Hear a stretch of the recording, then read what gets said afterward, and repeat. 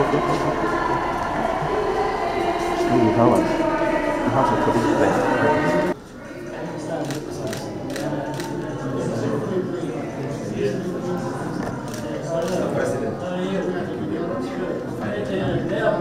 time, uh, going out uh, from the side again. Yes.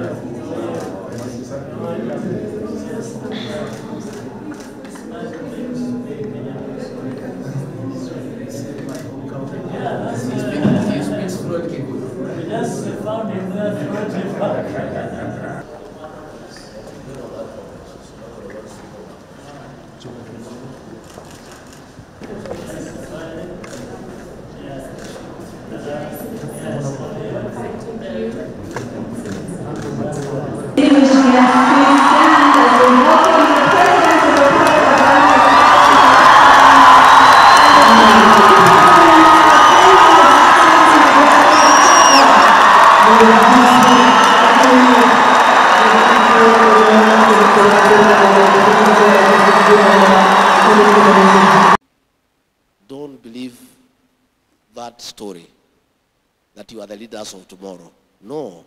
Why do you want to be the leaders of tomorrow? Be the leaders of today. Anybody above the age of 18 is an adult for every practical purpose. So why would somebody be telling you when you are 25 years that you are the leader of tomorrow?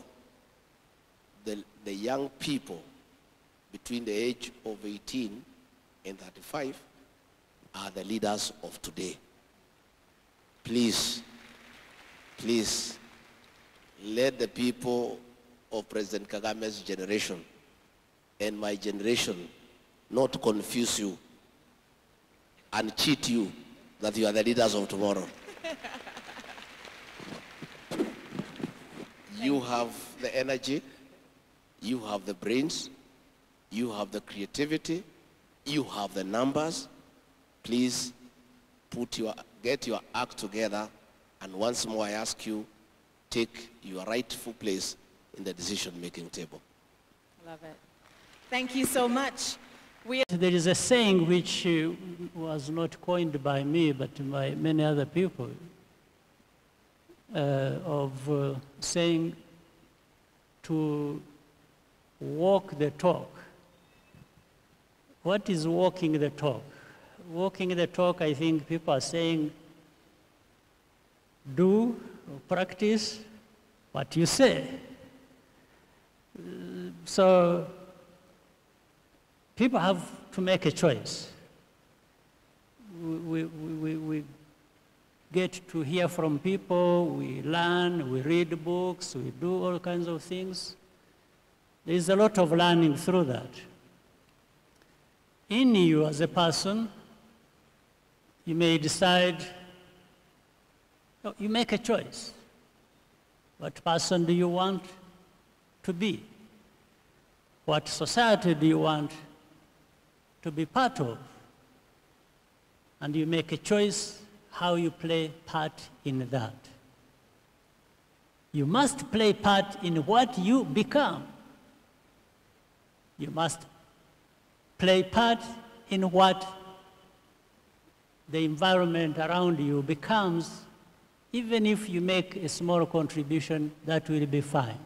But you must shape something about you, about your environment. 28 years ago, when Rwanda was at its lowest point, our country and the people dared to dream big, to give ourselves something to look forward to every day. We worked hard and worked together to overcome division, provide justice, and build prosperity. For the past two decades, this vision has become Rwanda's purpose.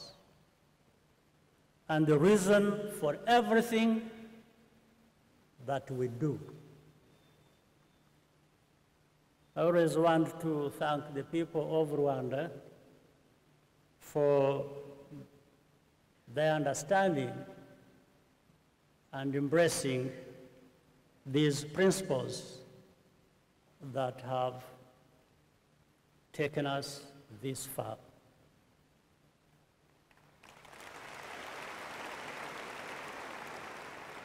Whatever your purpose, do not get discouraged by doubts. Begin by not doubting yourself. Try to overcome that. And ultimately, you, your family, your country, and our continent will be better off for it. Once again, I want to thank you for being with us. I wish you a successful summit and an enjoyable stay in Rwanda. And thank again those people who joined us from outside in person or virtually. We are looking forward to even more productive summit next time. Thank you for listening.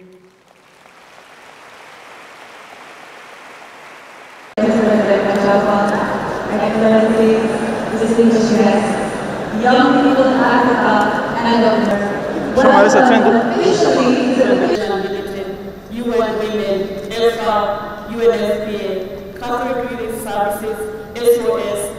Young people use this opportunity to learn, to connect, to share experiences, but also grow your network as we transform. Dancing and celebrating this morning as any indication, I think all of our visitors and guests have made themselves at home here in Rwanda. Moving further, faster, and our next speaker is one of those invaluable partners.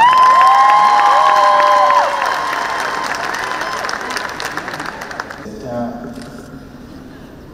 wa Repubulika y'u Rwanda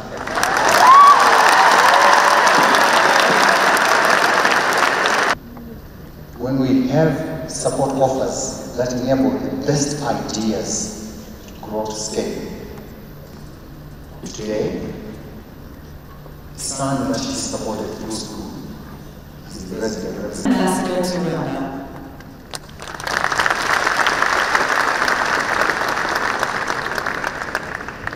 accelerating investment in youth, graduate youth, graduate Africa is significant.